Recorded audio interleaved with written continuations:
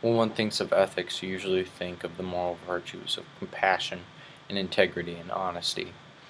Philosophers for thousands and thousands of years have tried to come up with a perfect moral theory of living ethically that is applicable in all situations. They have failed at this, however, I think that one rule that most people would say they live by is the golden rule of treating others as they would want to be treated.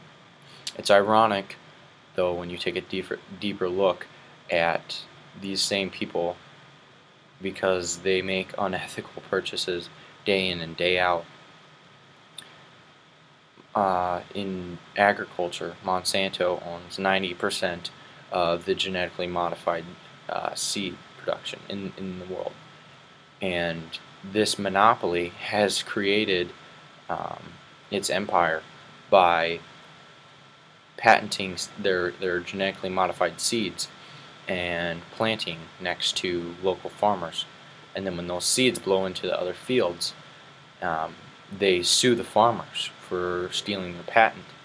And they not only make money from the lawsuits, but they get the farmers' land and um, have a greater amount of their seeds produced. If you look at the meat industry, uh, workers hitting animals and livestock with pitchforks if they're not moving and confining them to cages that they can't even turn around in. And genetically modifying them so that uh, chickens for instance can't even stand up on their own two feet because they're growing too fast.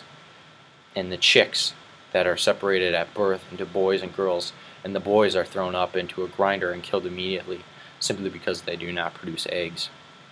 And then you think of the sweatshops and our, how our clothes are produced um, with possible child labor and most likely workers that are getting paid only a few dollars a week.